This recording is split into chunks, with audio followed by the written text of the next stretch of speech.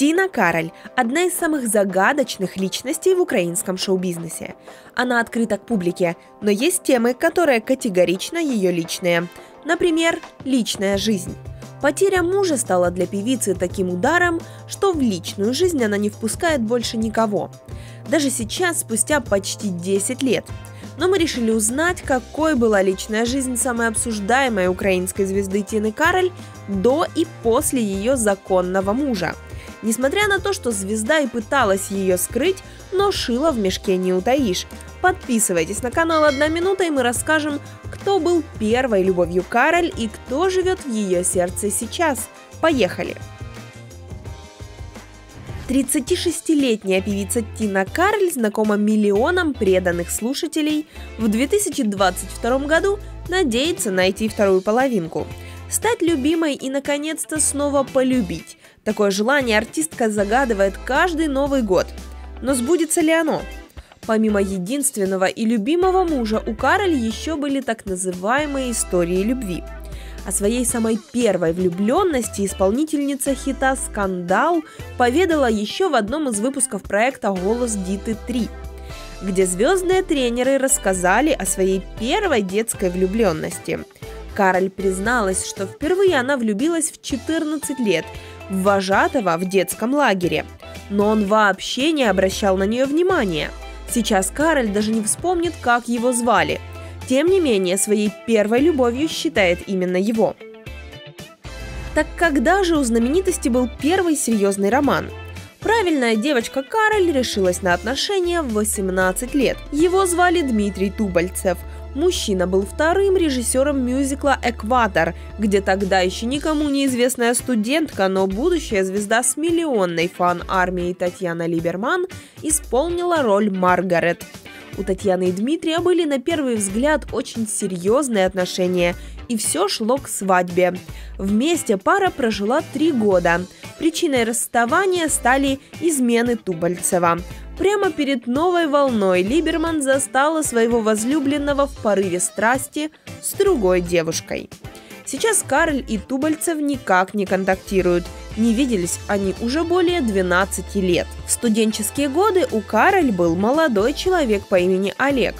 Кто он, как они познакомились и почему расстались, ничего из этого общественности неизвестно так как как раз в то время звезда еще была не очень популярной, следовательно, за ней не следили.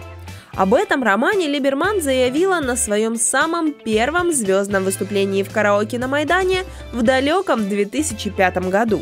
Для хлопця рідного співаю. Хлопця рідного? Да, Як його звати? Олешка. Есть версии, что речь шла о продюсере певицы Олеге Черном, однако это лишь предположение. После Олега у Тины был мужчина по имени Кирилл – да, Кароль – женщина с опытом. Певец Кирилл Туриченко покорил сердце будущей звезды своей харизмой и уверенностью. На тот момент артистов объединяло то, что они вместе принимали участие в отборе на Евровидение 2006. Даже конкуренция не помешала этим романтическим отношениям. Однако молодым звездам приходилось скрывать свою связь от продюсера Олега Черного который был категорически против отношений в коллективе и к тому же сам имел некие планы на Кароль, но в итоге получил отказ.